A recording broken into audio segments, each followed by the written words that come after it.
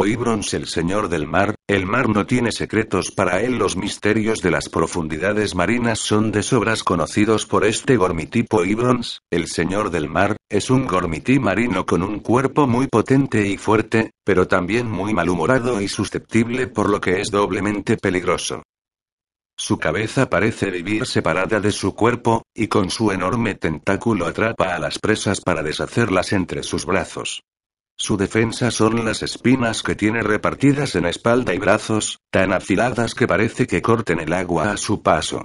Gormiti Medusántica podría decirse que Medusántica es la vigilante de los mares, la que mantiene informados a los demás Gormiti de los sucesos que acontecen bajo las profundas aguas.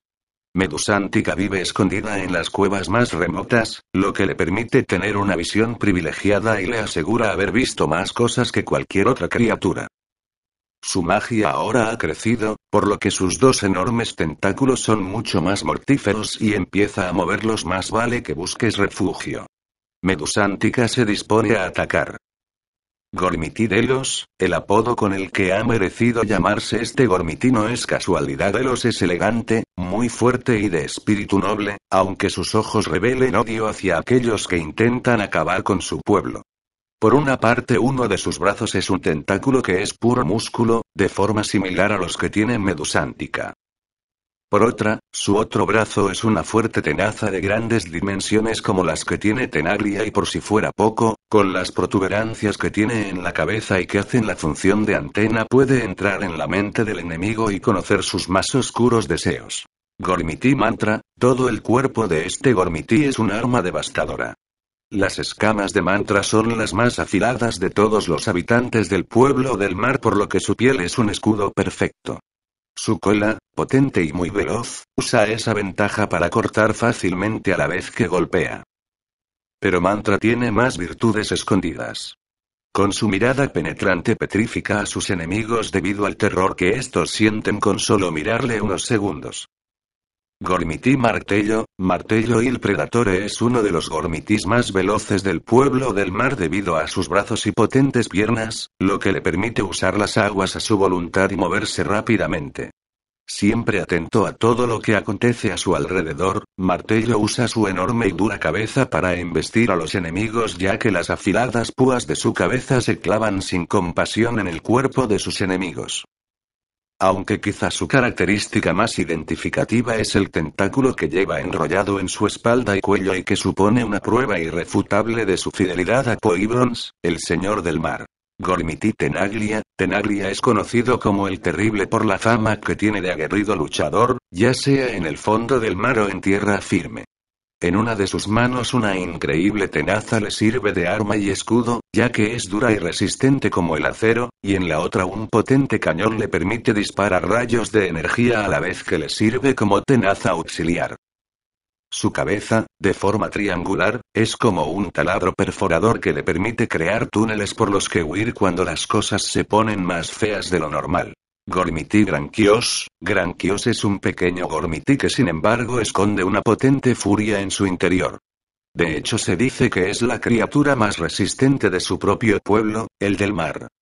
Debido a que su cuerpo no es demasiado fino, Granquios no es que sea muy veloz, pero su increíble defensa hace que pueda resistir sin problemas grandes enfrentamientos y batallas.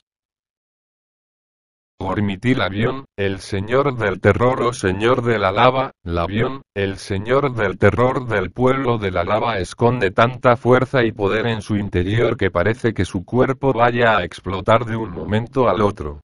Todas las partes del cuerpo de este Gormiti te avisan de que el avión es un ser poderoso como pocos, de hecho su brazo es un ser con vida propia y que resulta ser una pinza mortal que puede cortar prácticamente cualquier material y causar erupciones, para él es tremendamente sencillo.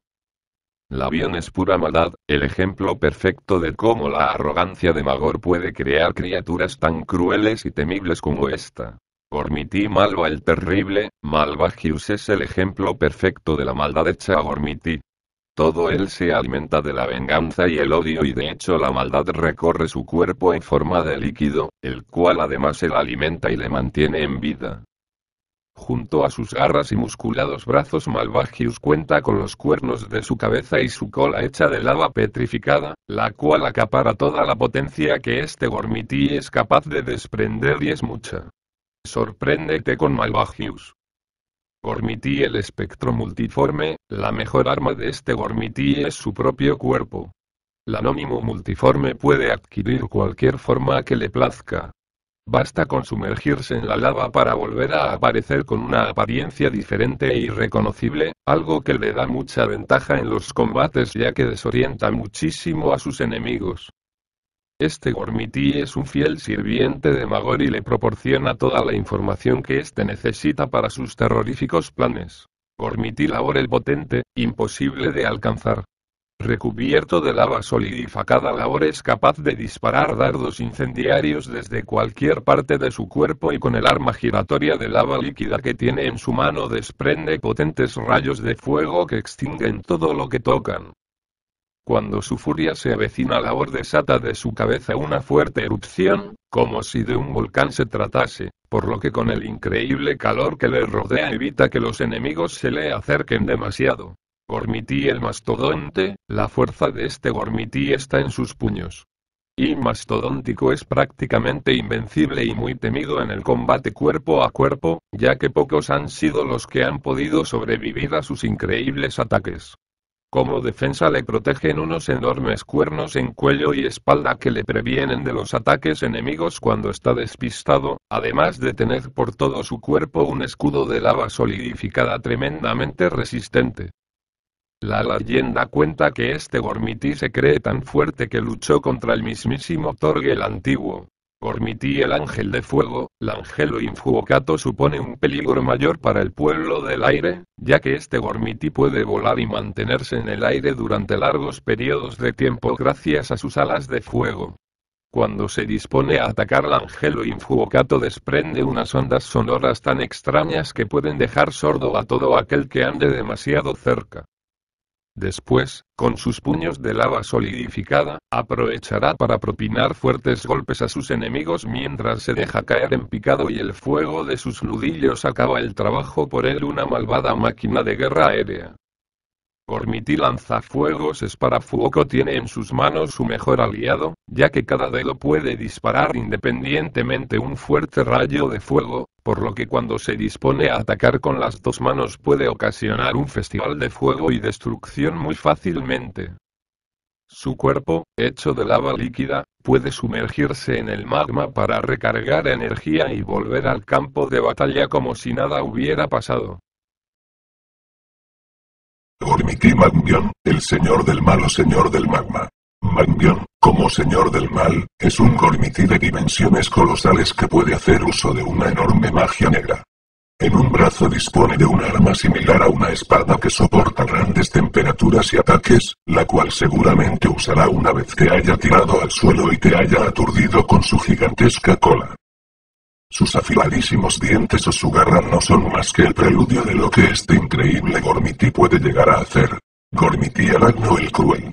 Como ayudante faila incondicional de Magmion, Aragno el Cruel contiene en su interior grandes cantidades de magia negra. Ágil y rápido, este Gormiti no destaca por su tamaño aunque en combate se muestra igual o más feroz que sus compañeros. Cada uno de sus brazos es un arma distinta más poderosa que la anterior. Púas rotantes, un gancho, una hoja afilada.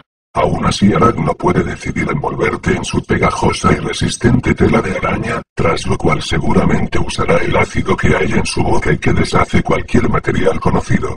Gormitil atrapa almas. Este Gormitil del pueblo del magma es uno de los más temibles, ya que con su poder telepático es capaz de influir en la mente del enemigo para controlar su voluntad, robarle los pensamientos más hermosos y sumirlo en un mar de desolación y caos.